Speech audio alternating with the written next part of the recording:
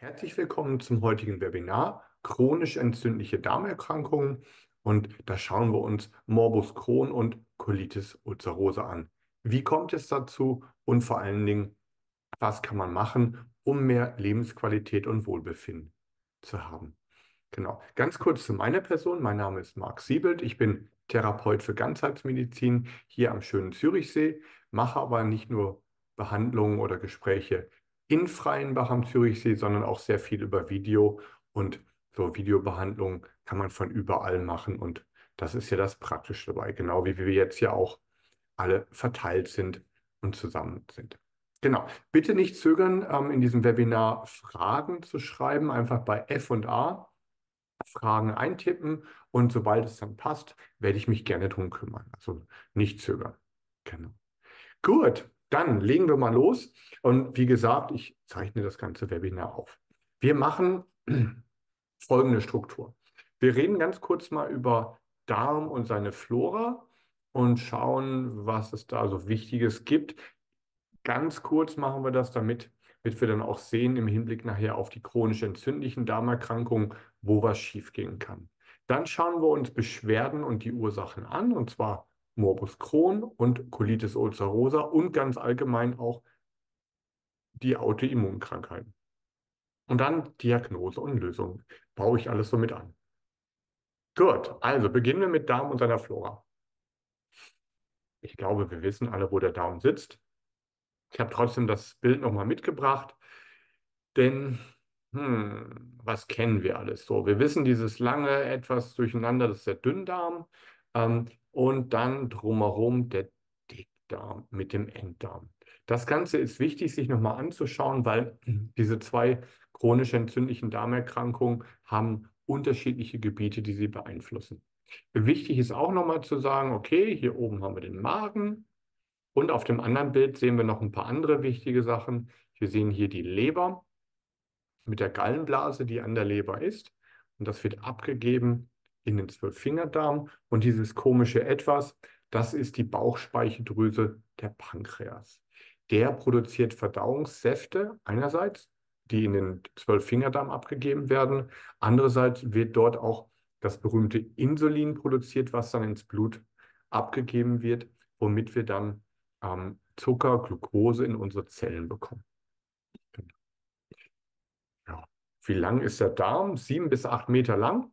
Die Oberfläche finde ich immer Wahnsinn. Also 400 bis 500 Quadratmeter groß, ähm, wie zwei Tennisplätze. Und da geht so einiges an Nahrung und Flüssigkeit durch. Und vor allen Dingen sitzen dort 80 Prozent unseres Immunsystems. Ich habe ja immer gedacht, ich bin relativ groß mit meinen zwei Metern. Müsste doch eigentlich die Haut so das größte Organ sein. Aber das hat nur so um die zwei bis zweieinhalb Quadratmeter. Und da ist natürlich die Oberfläche des Darmes riesig. Ja, und mit der ganzen Struktur, mit den Zotten und Krypten ist es so. Das ist auch noch ein wichtiges Bild, das wir hier sehen. Ähm, und zwar die Darmschleimhaut, die Mucosa. Und die spielt eine wichtige Rolle, weil in, in diesem Webinar über diese chronisch entzündlichen Darmerkrankungen geht es ja um Probleme mit der Darmschleimhaut. Na, hier mal so ein Bild davon. Und diese, diese Schleimhaut, auch Mucosa genannt, dient einerseits als Schutz, also Abwehr. Sie dient aber auch gleichzeitig zur Aufnahme von Nährstoffen und drittens zur Bildung von Sekreten und Enzymen. Warum ist das so wichtig? Wir machen mal ein Beispiel. Wenn jemand so eine chronische entzündliche Darmerkrankung hat, also irgendwas stimmt mit der Schleimhaut nicht so, leiden sehr häufig auch diese drei Funktionen drunter. Also sprich, sehr häufig sehen wir zum Beispiel, dass eine schlechte Aufnahme von Nährstoffen der Fall sein könnte. Genau, also das so einmal zur Funktion der Schleimhaut und im Umkehrschluss, wenn es nicht so richtig funktioniert, sind natürlich diese drei Sachen auch ein bisschen ähm, leiden natürlich auch. Genau. Wie kommt es zu so einer riesen Oberfläche der Darmschleimhaut von 4 bis 500 Quadratmeter? Wir sehen hier oben, der Darm ist nicht nur einfach ein Schlauch, sondern hat ganz viele Falten. Die werden so Kerkringsche Falten genannt. Und wenn man hier mal so eine Falte im Querschnitt sieht, sieht man, wow, da sitzt ja zusätzlich noch diese Struktur mit Zotten und Krypten drauf. Und dann auch noch hier, so sieht dann die Oberfläche aus, nicht nur einfach Körperzellen, also so das, wo das festsitzt, sondern da sitzen diese Mikrovilli auch drauf. Und dadurch ist die Oberfläche bis zu 40-fach vergrößert gegenüber der normalen Länge. Einfach mal wichtig zum Verständnis. Wenn es natürlich zu einer Entzündung kommt, kann das die verschiedensten ähm, ja, ähm, Teile der Darmschleimhaut befallen. Was ist im Darm noch wichtig? Die Darmflora, also das Mikrobiom. Dort gibt es bis zu zwei Kilogramm Bakterien. Wichtig ist immer, und das äh, betone ich immer gerne, das sind keine körpereigenen Zellen oder Wesen.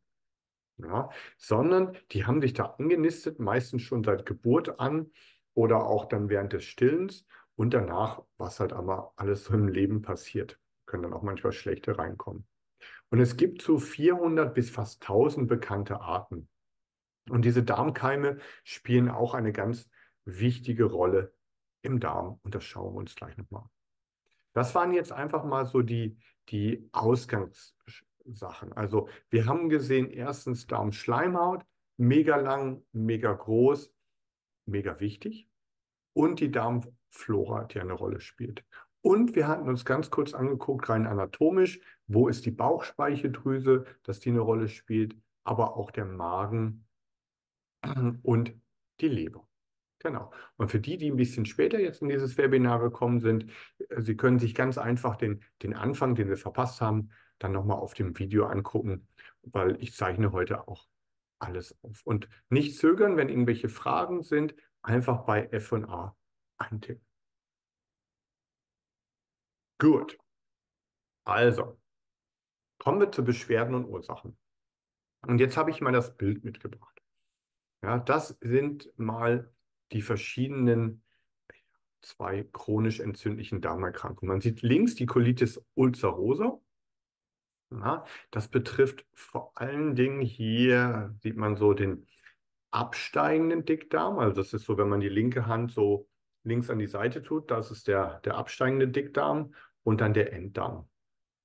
Morbus Crohn, da sieht man nicht, wo es ist, weil es kann an vielen Stellen sein. Aber erstmal so zur grafischen Abgrenzung. Hier noch ein bisschen besser abgegrenzt. Und ich habe das jeweils so gegenübergestellt, weil wir fragen uns erstmal rein von den Fakten her, okay, wie sieht es eigentlich aus? Wie vergleichen sich die zwei? Beide sind erstens genetisch bedingt.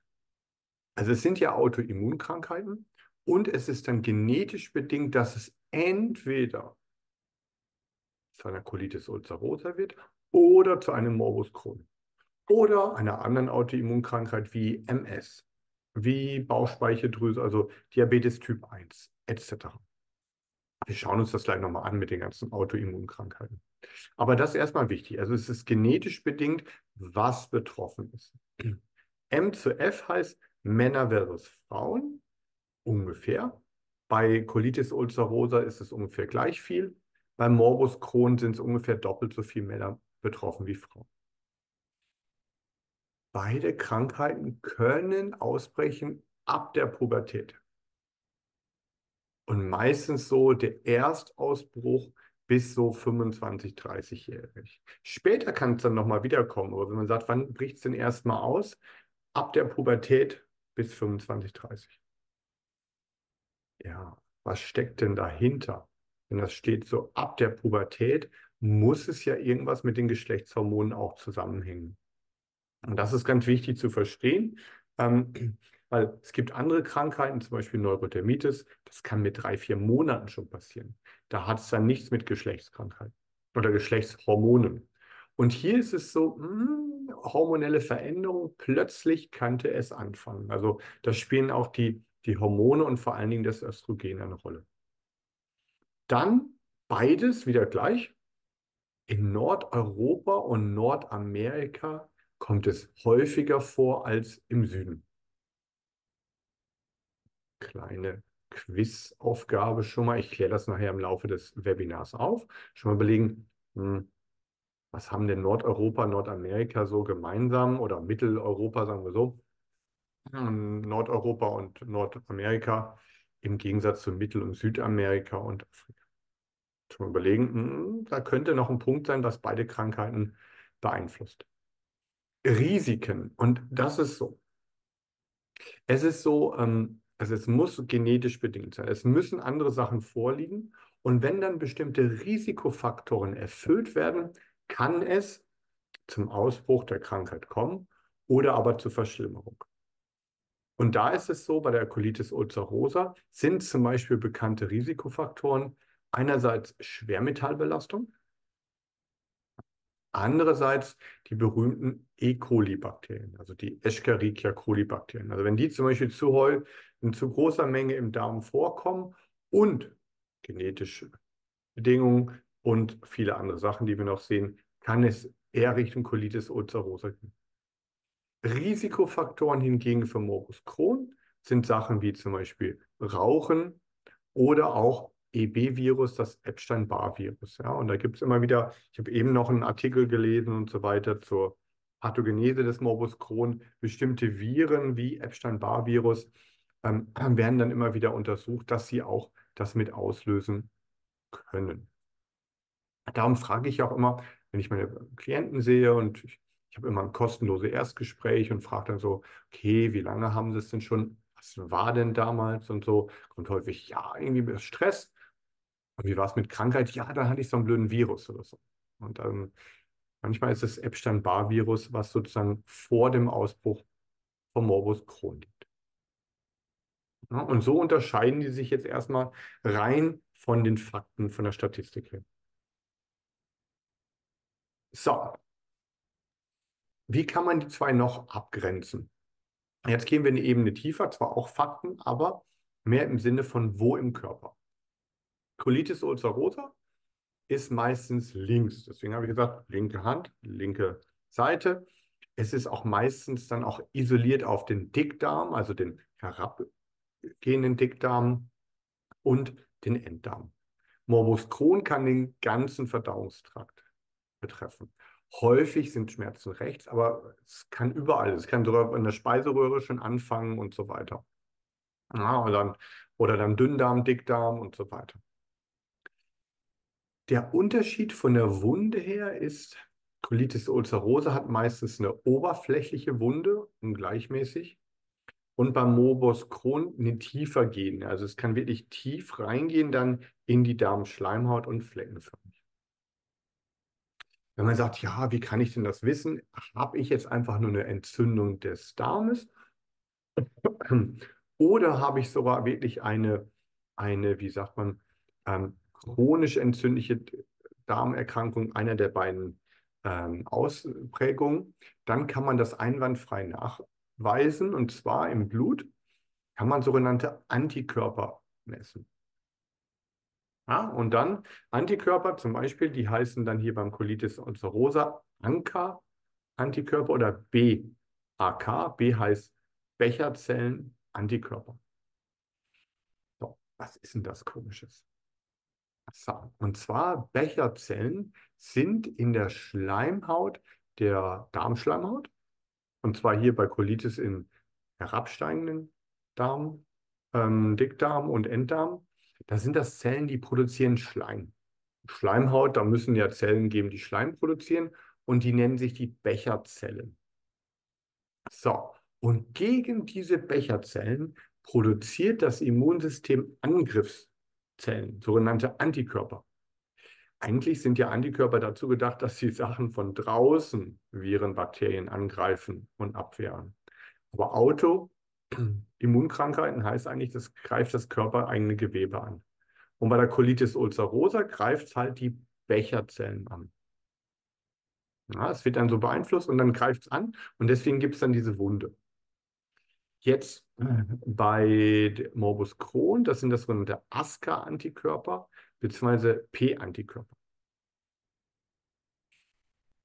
P wie Pankreassekret.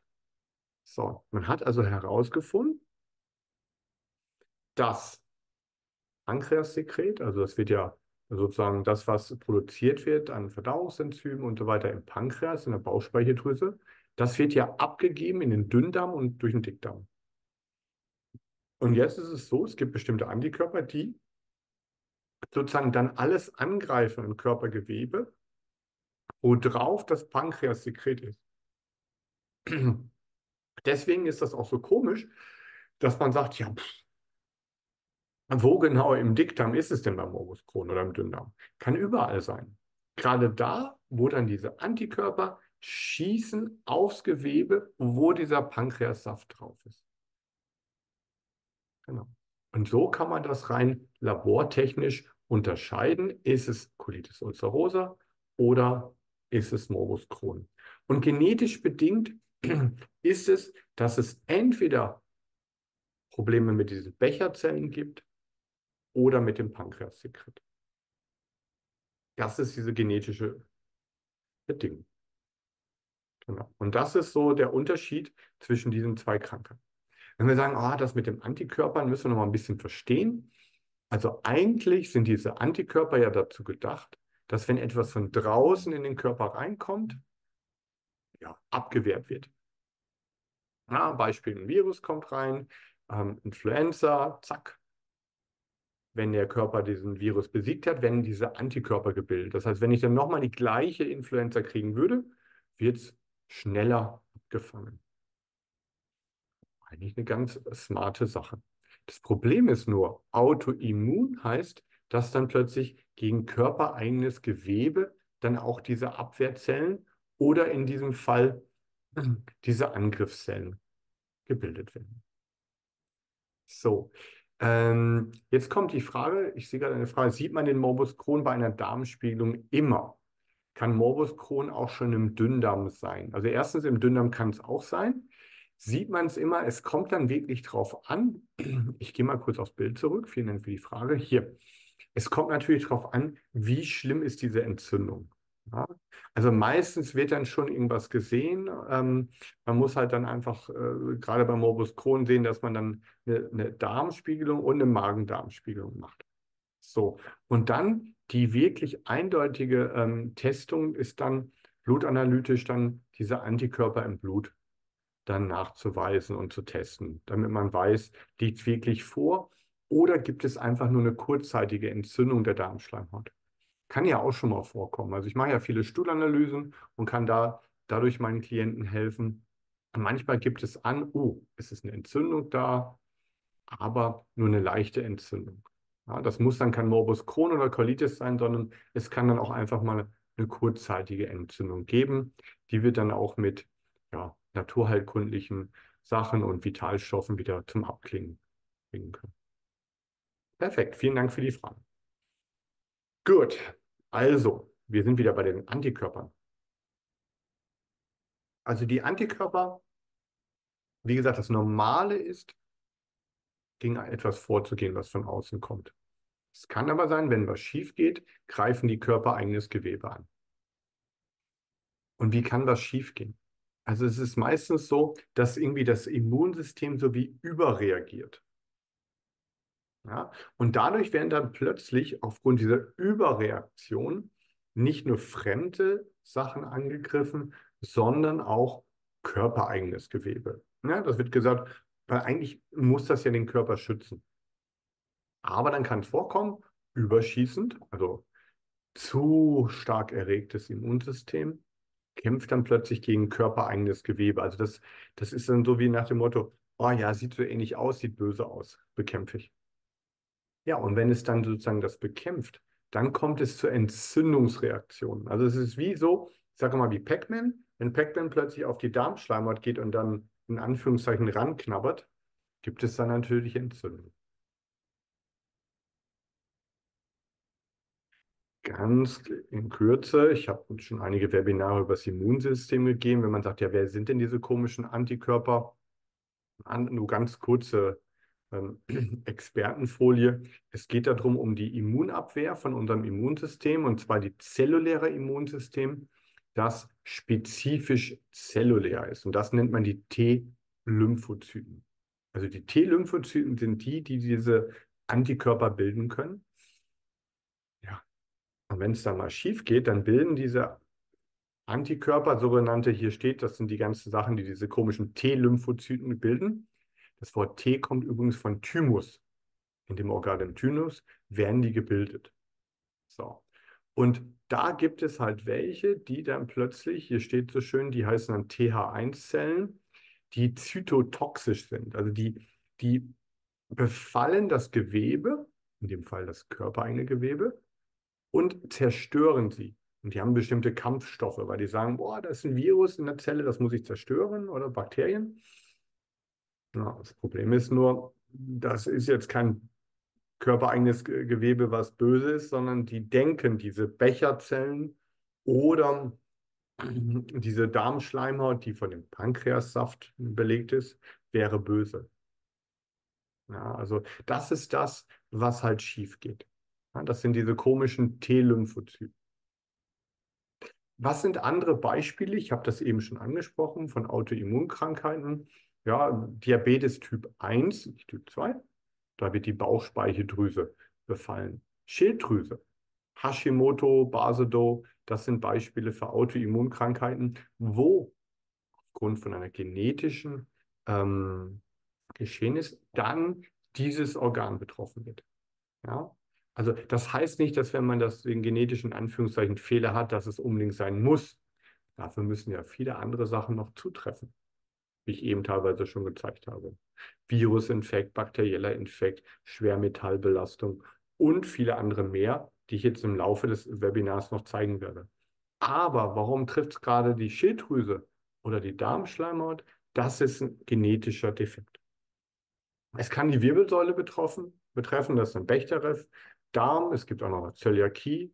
Gelenke kann es betreffen, die sogenannte rheumatoide Arthritis. Ja, also für die, sagen, ja, der Arzt sagt, ich habe Rheuma, irgendwie habe ich auch so Schmerzen, aber keine Rheumafaktoren da, muss man sich fragen, was löst denn da die rheumatoide Arthritis? Und häufig ist es auch der Darm, der eine große Rolle spielt. Multiple Sklerose, das ist das zentrale Nervensystem, was befallen wird, Neurodermitis, Haut oder auch Gebärmutter, das nennt sich dann Endometriose. Und das sind die verschiedenen Autoimmunkrankheiten. Und was sie alle gemeinsam haben, ist, dass, ich springe mal zu der Folie, dass irgendwie das Immunsystem überschießend reagiert, also außer Rand und Band ist und plötzlich greift es körpereigenes Gewebe an und nicht nur den Feind. Ja, sind bis hierhin Fragen? Wir haben noch ein bisschen, aber ich meine, wenn noch irgendwelche Fragen sind.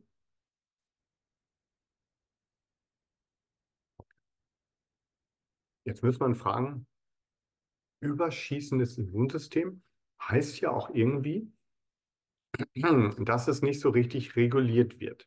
Ja, aber man könnte ja sagen, eigentlich müsste der Körper doch einen Prozess haben, dass es nicht überschießen kann. Und da müssen wir uns fragen, was könnte das denn regulieren? Und jetzt komme ich mal eine, ein Bild, das steht hier so auf Englisch, die weltweite Verteilung von Multiple Sklerose. Und wenn wir das mal angucken, sehen wir, okay, wo ist denn das hohes Risiko? Nordamerika und Nord- und Mitteleuropa. Ist ja spannend. Das sind so die Gebiete, wo es hohes Risiko ist. Hm. Auch das dunkelrot und das lila, das sind so die Gebiete. Was haben denn die gemeinsam? Hat jemand eine Idee? Einfach mal bei F&A oder in Chat schreiben. Was haben denn die, diese Gebiete so gemeinsam? Na, das ist jetzt mal ein Beispiel für MS, aber das ist bei anderen Autoimmunkrankheiten auch häufig der Fall, diese Verteilung. Was, was könnte da eine Rolle spielen? Sagen wir mal so, das ist ja hier so eine coole, coole Karte, wo man sieht, so vom, vom Breitengrad und ja, Nordamerika, Europa. Hat irgendjemand eine Idee, was die gemeinsam haben und was Autoimmunkrankheiten beeinflussen könnte? Jetzt hat jemand geschrieben, ich gucke mal schnell rein. Also einmal die Ernährungsform, super, genau, sehr gut. Ähm, dann weniger Sonne, ja, genau. Das ist nämlich das Fiese. Genau, das sind die zwei Sachen. Einmal unsere Ernährungsform, die westliche Ernährung und das andere, das Problem mit der Sonne. Und zwar, also klar haben die stundenmäßig weniger Sonne, aber auch der Einfallswinkel der Sonne ist ein ganz anderer. Also der ist einfach schräger und nicht so steil. Und dadurch ist die Bildung von Vitamin D nicht so gut ähm, wie in den anderen Gebieten. Ja, weil das, was das Immunsystem regulieren könnte, wäre vertikaleres Sonnenlicht und somit Vitamin D. Aber auch ein paar andere Sachen können das re regulieren und ich komme auf die Ernährung gleich nochmal drauf, weil das ist ein sehr guter Punkt. Ich komme jetzt erstmal auf ein paar Stoffe, also Vitamin D ist wichtig. Cortison kann das Immunsystem auch regulieren. Das kann der Körper selber produzieren, aber wenn es Krisensituationen gibt, irgendwann kippt das. Und dann klappt es nicht mehr so genau mit der beruhigenden Wirkung vom Cortison.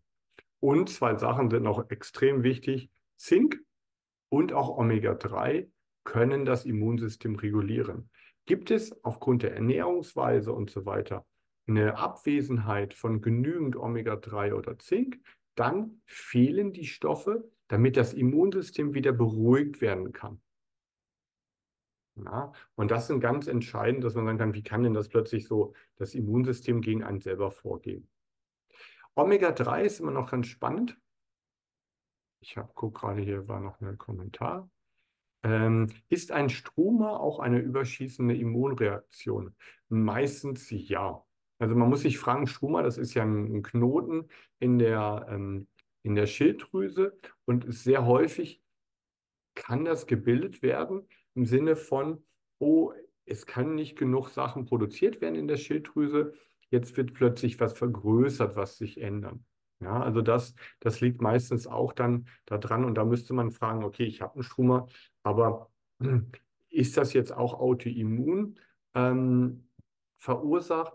Und dort hilft es dann, wenn man sagt, ja, woher soll ich es wissen? Antikörper zu messen. Ja, da gibt es für diese es gibt drei verschiedene Arten von Antikörpern, zum Beispiel für Schilddrüsen-Autoimmunkrankheiten und die einfach zu messen, zusammen mit dem Schilddrüsenbild. Genau. Vielen Dank für die Frage.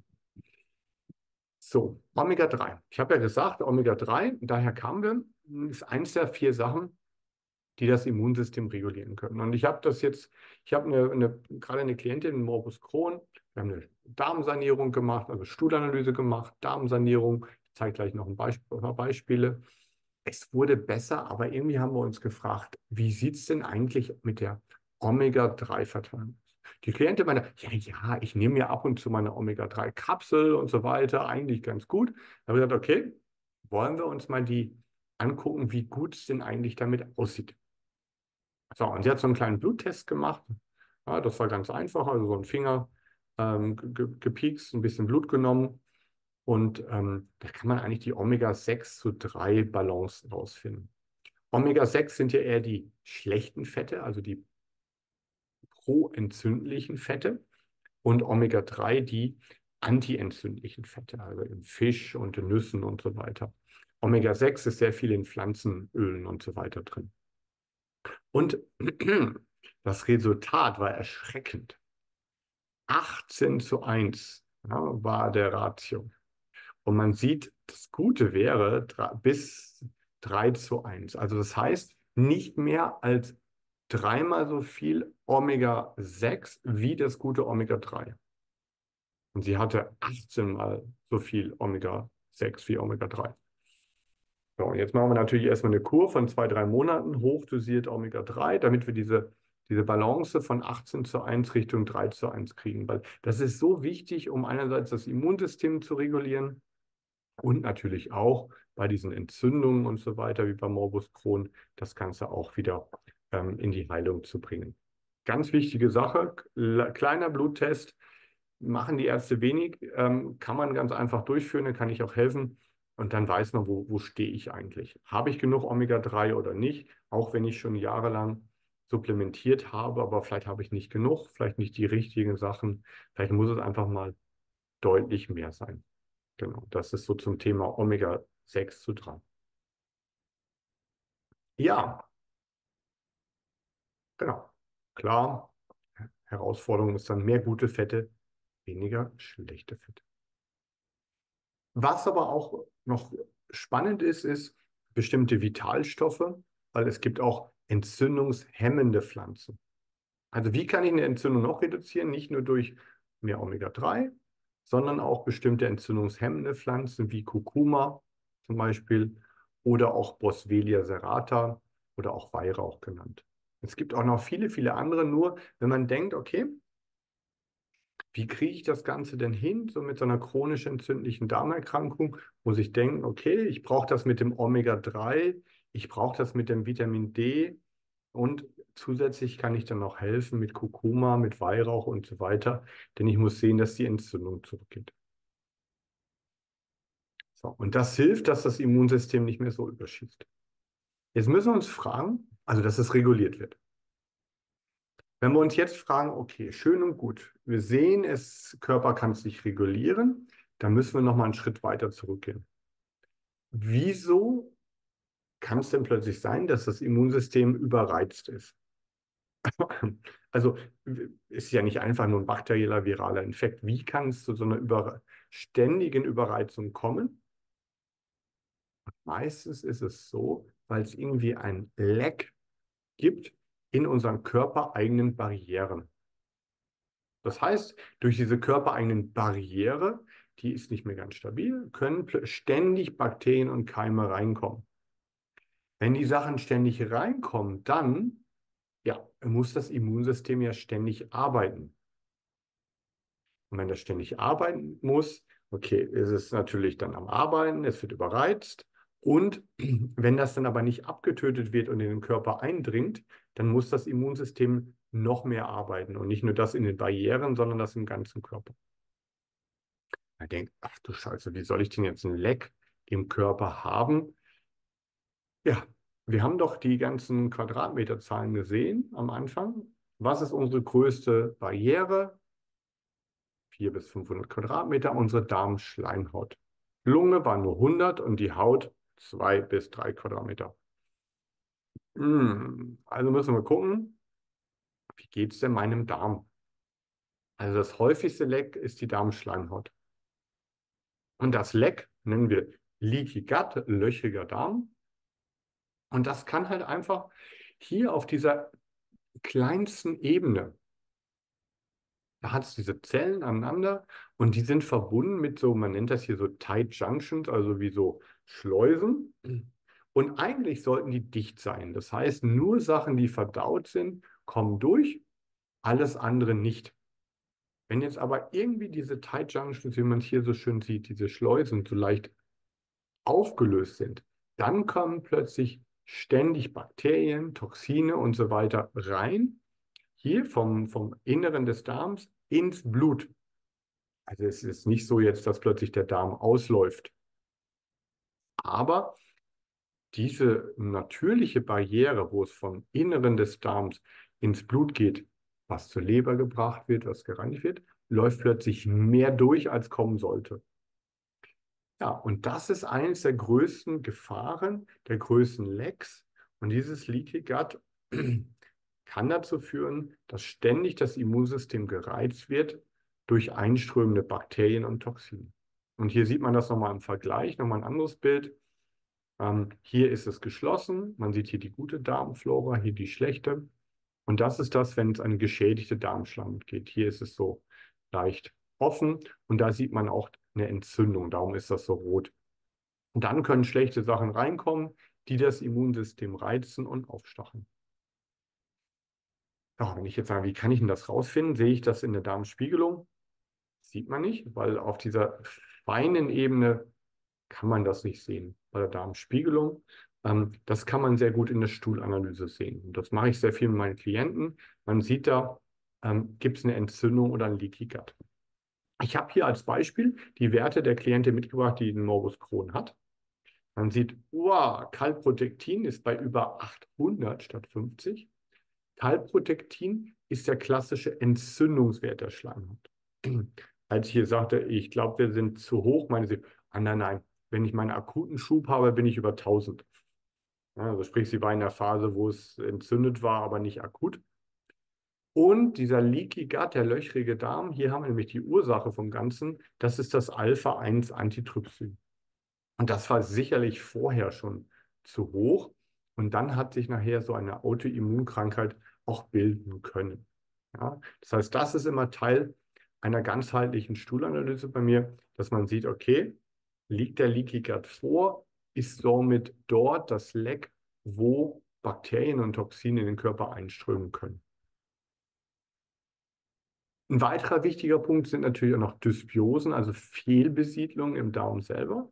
Weil wenn ich dort pathogene Keime in zu hoher Menge schon habe, habe ich ja dort das Reservoir an schlechten Bakterien zum Beispiel, die durch die Schleimhaut in den Körper reinkommen können.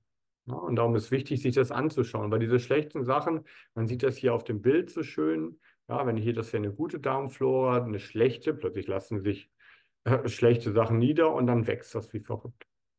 Ja, die produzieren, also einerseits sind sie selber schlechte Bakterien, reizen also das Immunsystem, können aber auch noch Sachen produzieren, wie Histamin oder auch Gärung und Fäulnissachen. Und das wiederum reizt die Darmschleimhaut und lässt sie entzünden und löchrig werden. Und darum ist so wichtig zu gucken, hier wieder das Beispiel der Klientin mit Morbus Crohn. Gibt es überhaupt gute Bakterien wie Bifidobakterien? Ich glaube, das ist, man sieht hier grüner Bereich, da müsste der Strich sein. Das ist extremst niedrig, das fehlt komplett bei ihr. Auch die wichtigen Butyratbildner sind ganz, ganz niedrig. Ja, das sind welche, die produzieren Stoffe, die die Schleimhaut schützen könnten. Und was hat sie stattdessen? Extrem hohe Werte an Clostridien. Ja, sogar Cluster 1, das sind die, die wirklich Entzündungen machen. Ja, und darum haben wir diese Stuhlanalyse gemacht, weil sagte, sie nimmt nur entzündungshemme, ähm, reduzierende Mittel, aber sie will mal wissen, wie geht es ihrer Schleimhaut, ist sie löchrig oder nicht und hat sie schlechte Bakterien. Und hier, wow, Riesenmenge an schlechten Bakterien. Genau. Also, das war ein wichtiger weiterer Punkt in unserem Puzzle. Also zu sagen, okay, wieso wird das Immunsystem zu sehr gereizt? Gucken, ist der Darm löchrig und hat eine Darmflora, die selber dann auch das Immunsystem reizt und noch schlimmer, wie in diesem Fall, Sachen produziert, die Entzündung hervorrufen. Genau. Das war das Thema Darmflora und Schleimhaut. Und ich sehe gerade eine Frage, wie man das Ganze messen kann. Also das ist das Schöne und Einfache. Man kann all die Sachen in einer ganzheitlichen Stuhlprobe messen Ne? Wir machen das immer so. Ich habe immer erstmal ein kostenloses ähm, Erstgespräch, zu sehen, was sind die Probleme, was gibt es, was wurde schon gemacht. Und wenn man dann sagt, okay, ich glaube, eine Stuhlanalyse könnte mal Sinn machen, dann ähm, lasse ich Ihnen dann so eine Stuhltestset zukommen, egal ob Sie in der Schweiz sind oder Deutschland oder Österreich oder wo auch immer. Und dann kann man das messen. Man füllt einfach zwei Röhrchen, schickt das zum Labor und dort sieht man ganz klar, wie geht es dem Mikrobiom, der Darmflora, der Darmschleimhaut? Hat es Pilze oder noch andere Probleme? Genau. Vielen Dank für die Frage. Ernährung wurde eben schon geschrieben, spielt ja auch eine Rolle. Und zwar muss man sich jetzt folgende Überlegung stellen. Was verstärkt die Reizung des Immunsystems? Und hier spielt jetzt die Ernährung eine wichtige Rolle. Und zwar sind das bestimmte Lebensmittel Eiweiße, also nicht Proteine im Allgemeinen, sondern ganz spezielle. Ganz spezielle Proteine, Eiweiße, die diesen bestimmten Bakterien oder Keimen ähnlich sehen. Ja, man muss sich das so vorstellen, man könnte denken, ja, aber das und das sieht ja nicht aus wie eine Bakterien, aber vom, von der Kodierung her gibt es bestimmte Stücke, die wirklich ähnlich aussehen wie Epstein-Barr-Virus, wie diese Kolibakterien oder was auch immer. Jetzt denkt das Immunsystem, wow, da ist etwas Böses, was reinkommt. Dann greift es das auch an.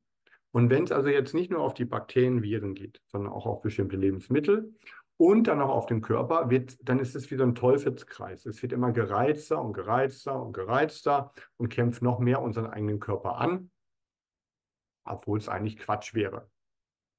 Und wenn man sich fragt, was ist denn das? Was dann plötzlich so ähnlich aussieht wie unser Gewebe, das es angreift. Da gibt es viele, viele, viele Untersuchungen. Und da ist zum Beispiel eine Studie, die ich mitgebracht habe in dieser Präsentation. Da wurde bei Multiple Sklerose gesehen, dass es das Kuhmilcheiweiß ist. Zum Beispiel, was bei MS das Immunsystem noch mehr anreizt und noch aggressiver macht.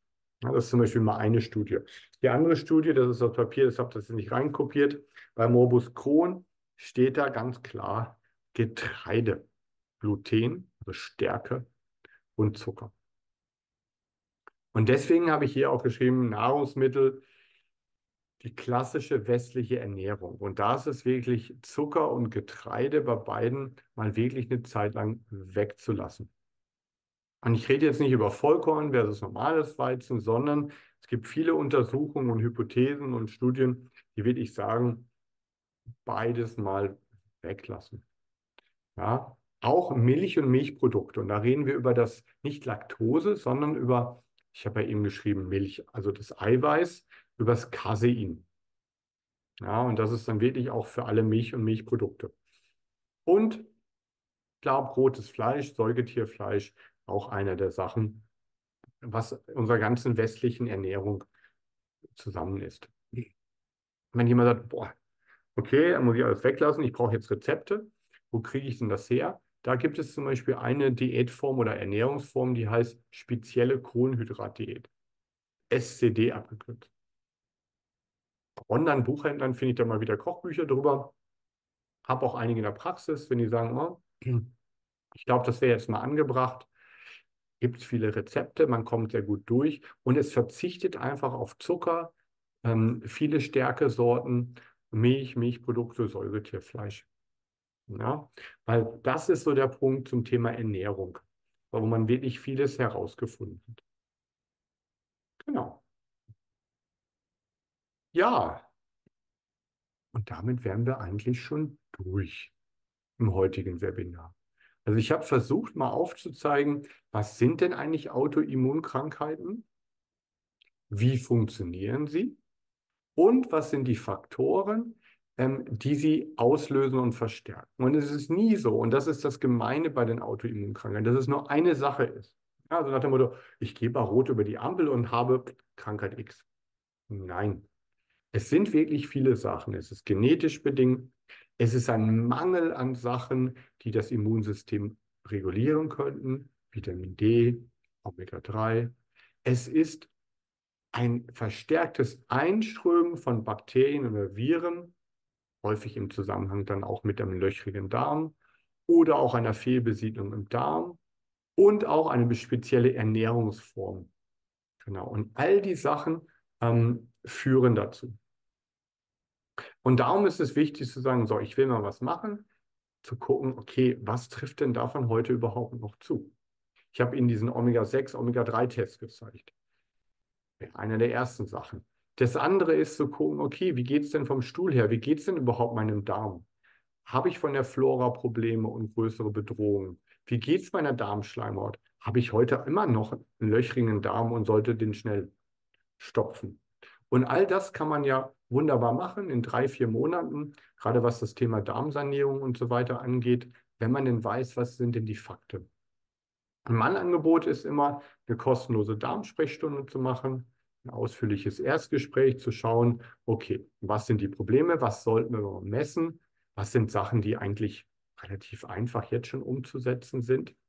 Und daraus ergibt sich dann aufgrund der, der Stuhlanalyse und der Untersuchung ein individueller Maßnahmenkatalog, Darmsanierung, die richtigen Vitalstoffe, was kann man bei der Ernährung feintunen und was ist ganzheitlich sonst noch wichtig. Ja, was, hat, was ist das Thema Stress und so weiter und so fort, das auch mit angegeben werden kann.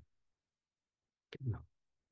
Ja, dann danke ich erstmal für Ihre Aufmerksamkeit und ähm, ja, wenn Sie Interesse haben, einfach online auf unserer Homepage also eine kostenlose Sprechstunde machen, wenn Sie mehr wissen wollen oder wenn Sie mehr diskutieren möchten. Die können wir hier in Freienbach machen oder einfach ganz bequem per Video, also online Telekonsultation. Das können wir dann auch hinterher sehr weiter und sehr gut per Video durchführen. Prima. Dann bedanke ich mich ganz recht herzlich für Ihre Aufmerksamkeit und bis ein anderes Mal. Discover Health Center in Freienbach. Ja zu Lebensqualität und Wohlbefinden.